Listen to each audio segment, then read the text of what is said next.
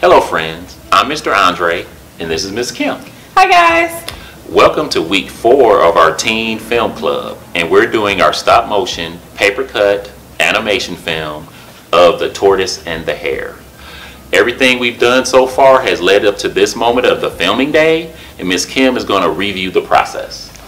Okay guys, so if you remember, we started with an idea and that idea was jotted down into character development and setting development. In character development, we decided what type of personalities we wanted our characters to have. In set development, we decided where this story would take place. Next, we started our script writing process. We broke down the different types of things that are inside scripts, such as setting, shots, transitioning, and dialogue. Then we wrote the script, which is here. And I showed you guys that our script contained all the necessities for great script writing.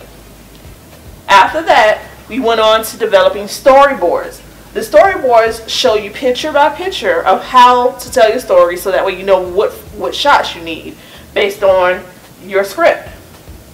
Now you're prepared for filming day. Next, we're going to talk about equipment. You at home have access to a phone.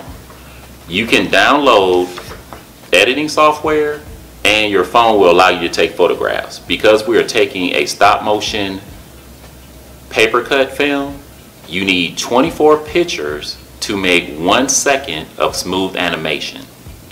Some of our shots will need the 24 uh, photographs, but most will not. Today we're going to talk about the filming day where all of this comes together with your equipment, your cast, and your crew. Let's begin. Day is filming day. We've gathered our cast, which are felt. We have our set, which is made of paper. And we have our film equipment, which is either a phone or a recording camera.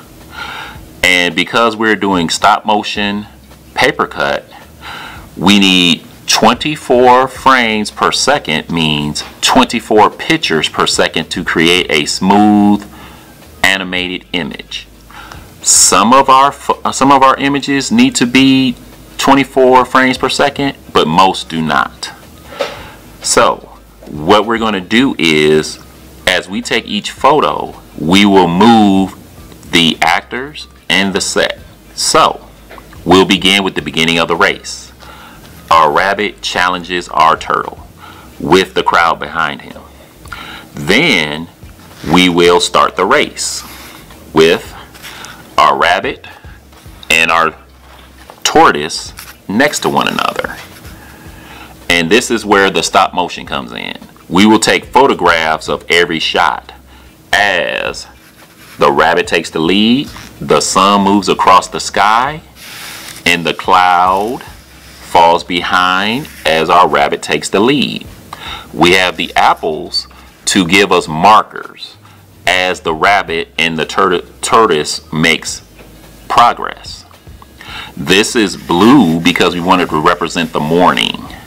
They're on their green grass and as the rabbit passes the apple, he gains his lead.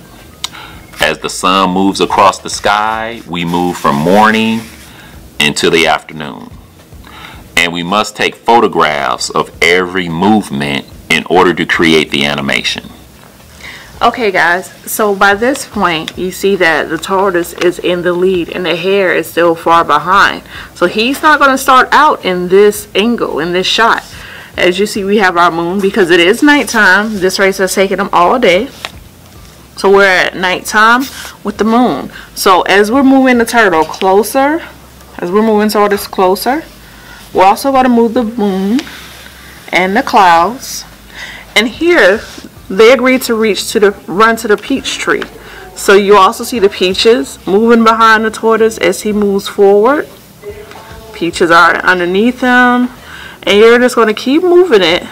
And then, once he's far enough ahead, you want to start bringing your hare into the picture. Now, when you bring them in, you got to bring them in hopping because that's what tortoise that's what hares do hares hop so when you bring them in you're going to bring them in hopping because that's what hares do hares hop and it doesn't you got to remember you would need to take a picture of him going up picture him midway, picture him down, up, and that is how you do your shots.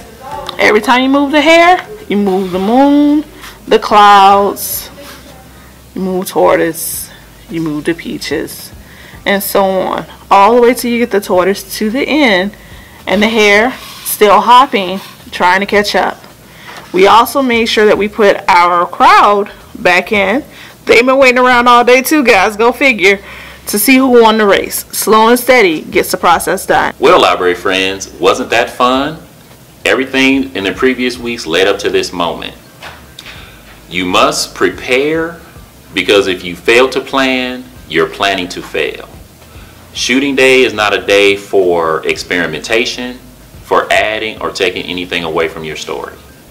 Filming day is the day that you execute all of your plans. Whether you work with human actors or felt like we work with, you must be prepared. Ms. Kim?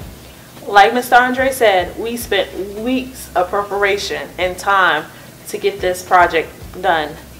Just remember, preparation will equal perfection every time. You guys have a great day. Bye. Bye.